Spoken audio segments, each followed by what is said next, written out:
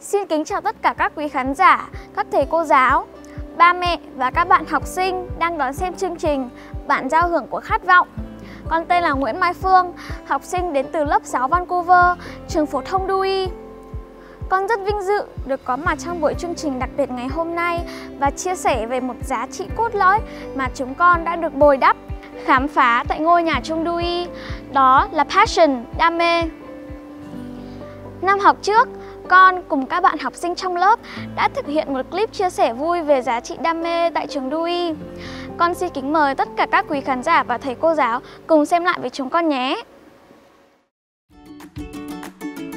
Xin chào các bạn, mình là Mai Phương, là một phóng viên của VTV. Thì hiện tại mình đang có mặt tại trường Dewey, một ngôi trường rất nổi tiếng với ờ, bốn giá trị cốt lõi đó là integrity, hào phóng, đam mê và học tập suốt đời. Uh, chủ đề của ngày hôm nay đó chính là đam mê Vậy mọi người hãy cùng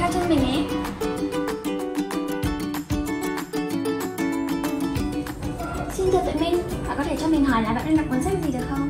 À, tôi đang đọc quyển The Train to Impossible Places Ồ, nghe có vẻ hay nhỉ Mình thấy là bạn đọc sách cũng khá là nhiều ấy Thì bạn có thể nói cho mình biết là đọc sách có phải đam mê của bạn không? Đúng vậy, đọc sách là đam mê của tớ Ờ, vậy thì theo bạn, đọc sách mang lại cho bạn những giá trị gì?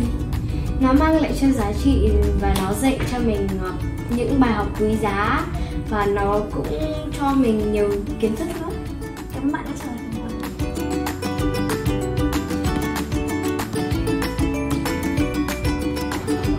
đã chơi bóng rổ được lâu chưa?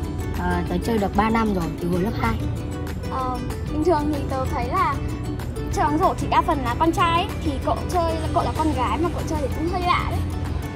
Ừ, mà đam mê thì không phân biệt giới tính nam hay nữ đâu Ờ, thế điều cậu thích nhất bóng rổ là gì?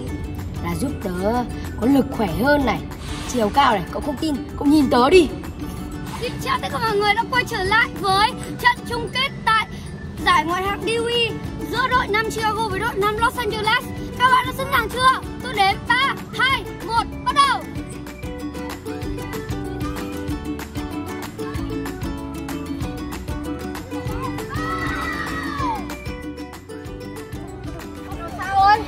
tôi buồn quá đội tôi thua rồi không sao à, chúng mình là bóng chỉ là vì đam mê thôi thắng thua không quan trọng đâu ờ, tôi hiểu rồi cảm ơn cậu Vậy là các bạn có thể thấy rằng mỗi học sinh ở trường Dewey School đều có một đam mê của riêng mình. Vậy hãy nói cho mình biết đam mê của bạn là gì nhé.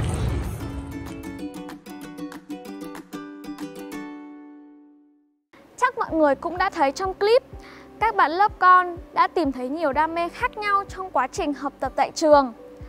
Đó có thể là những đam mê bình dị như đọc sách, ca hát, làm thơ hay là những đam mê mang đậm màu sắc cá tính của mỗi người như chơi thể thao, tranh biện, làm MC hay tìm hiểu lịch sử thế giới.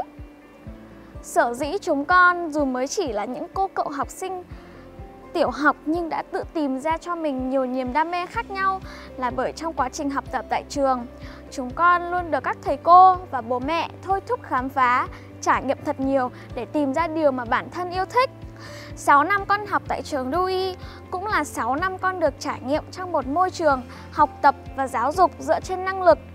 Các thầy cô đã cho chúng con biết rằng mỗi người trong chúng ta đều yêu thích những thứ khác nhau, lo lắng về những điều khác nhau, có điểm mạnh, điểm yếu khác nhau và cả tính riêng của từng người. Từ những ngày lớp 1 đầu tiên bỡ ngỡ vào trường, con đã được tôn trọng và học cách tôn trọng sự khác biệt, được dừng lại, dành thời gian để tìm hiểu về những điều mình muốn và nên làm, từ đó tìm ra được năng lực và sự yêu thích của bản thân. Đam mê của riêng bản thân con là thiết kế. Con có thể dành nhiều giờ vào cuối tuần để được thiết kế những bộ váy. Khi vẽ, con cảm thấy rất thư thái, thoải mái như được hòa mình vào những trang giấy vậy. Đó là một cảm giác vô cùng thú vị mà chỉ khi thiết kế con mới có được. Bên cạnh việc học tập, sở thích này của con cũng luôn luôn được bố mẹ ủng hộ. Mỗi trang phục con vẽ ra, con đều tự hào khoe với bố mẹ và bố mẹ cũng đã góp ý cho con rất nhiều. Bố mẹ cũng luôn động viên để con tiến bộ hơn mỗi ngày. Trong tương lai, khi lớn lên, con muốn mình sẽ trở thành một nhà thiết kế thời trang thành công và sở hữu một hãng thời trang riêng. Mọi người có thấy ước mơ đó của con là hơi xa vời không ạ? Con thì con nghĩ là không. Và con nhớ tới câu chuyện của thần tượng của mình. nhà thiết kế Coco Chanel. Từ một cô bé mồ côi ở trong cô nhi viện, bà đã tìm ra niềm đam mê đặc biệt của bản thân đối với thời trang. Người phụ nữ mảnh rẻ ấy đã làm nên không chỉ một mà là hai cuộc cách mạng thời trang trên thế giới. Bà đã thay đổi cách mà mọi người nhìn nhận thời trang lúc bấy giờ, giải thoát phụ nữ khỏi lối mòn của sự gò bó, ràng buộc và tạo nên một thương hiệu thời trang được yêu thích bởi biết bao thế hệ con người trên thế giới. Nói về đam mê, chúng ta hay nhắc tới câu Follow your passion and success will follow you. Tạm dịch là hãy theo đuổi đam mê và thành công sẽ theo đuổi bạn. Với con, hai chữ thành công không nhất định phải là những vị trí, phần thưởng hay là danh hiệu.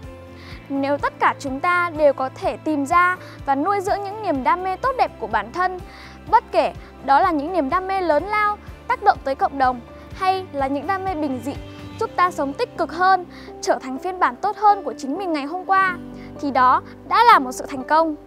Những ước mơ và khát vọng sẽ không bao giờ mất đi nếu ta còn nuôi dưỡng chúng bằng một niềm đam mê bất tận. Đừng bao giờ từ bỏ ước mơ và những niềm đam mê tốt đẹp của mình nhé. Xin cảm ơn tất cả mọi người đã lắng nghe.